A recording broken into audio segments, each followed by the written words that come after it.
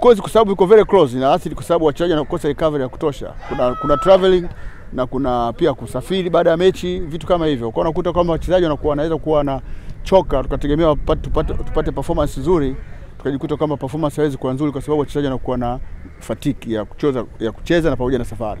Nyinyi kama makocha leo mnaliangaliaje sasa, angalau mnaweza kupata matokeo mazuri ya kuridhisha kabla ligi kumalizika? Ya, sisi ni kujaribu kwenda na hali halisi ilivyo, sababu kama ni taratibu, sio taratibu nzuri, yani sio taratibu nzuri kwa wachezaji na sio rafiki kwa wachezaji, na kwetu sisi kama coaches inakuwa pia si vizuri, kwa sababu wachezaji wanakosa ule muda wa kuwa kuji, kujiexpose wenyewe wao wenyewe. Kwa hiyo cha msingi ni kwamba lazima tuende na hali halisi ambayo ipo, kwa sababu ndio kanuni, ndio ndio anayesimamia mpira. Kwa hiyo hakuna namna, itabidi tufanye hivyo, lakini kiukweli ni kwamba bado siku mbili kuwapa nafasi timu kusafiri na kucheza bado ni tatizo sana, bado ni changamoto kwenye vilabu. Okay.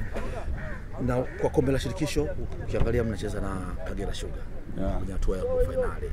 Kagera mlipoteza mechi jijini Dar es Salaam mbele yao. Unawatazamaje Kagera?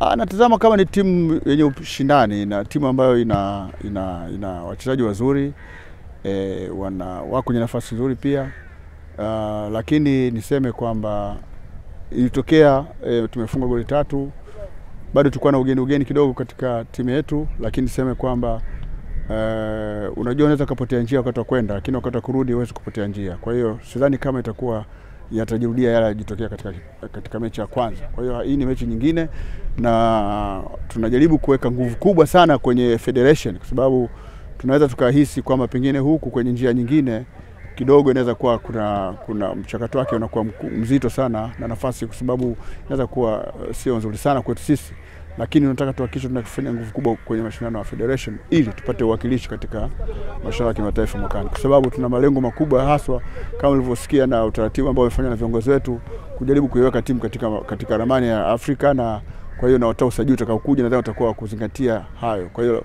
tusipokuwa kwenye confederation nadhani itakuwa kidogo haitokuwa nzuri zaidi. Umezungumzia usajili, mshaanza usajili? Usajili huwezi kuanza sasa hivi kwa sababu sio wakati wake, dirisha halijafunguliwa. Ukifanya usajili sasa hivi unaweza ukajikuta ukalipa eh, gharama kubwa ya usumbufu kwenye klabu ambacho mchezaji anatoka. Kipindi hiki sio cha usajili. Kipindi cha usajili kitatangazwa na TFF, wao ndio wanatangaza kwamba sasa dirisha limefunguliwa, ndio usajili unafanyika. Kwa hiyo kama kuna usajili wote unafanyika sasa hivi ni wanafanyika unafanyika underground, lakini si kwamba official transfer. Na hii kipindi hakikuwa kwa sababu ya ligi au kwa sababu ya kudadini, kilikuwa kipindi kwa sababu ya corona. Kwa hiyo watu walikuwa wako busy na viwanja vingi vilikuwa vimefungwa, na ndio maana umekuta kwamba watu wanajaribu kuconfuse kwamba hiki ni kipindi cha usajili. Kwa hata hiyo underground ms- mshaianza kimezima. Ah, sasa mimi so taratibu zitafanyika atakapokuwa tayari mtaambiwa. Siwezi kujua, lakini ndo, ndo inavyofanyika eh, ndo inavyofanyika. Isha hiyo mifano tunaiona mwaka jana, tulikuwa na wachezaji sisi ambao walikuwa tunao, lakini wamesha saini kwenye vilabu wanavyotaka kucheza. Siku ya mwisho time ilipofika wakajitokeza, kila washa saini kabla. Kwa hiyo hivi vitu vinafanyika Tanzania.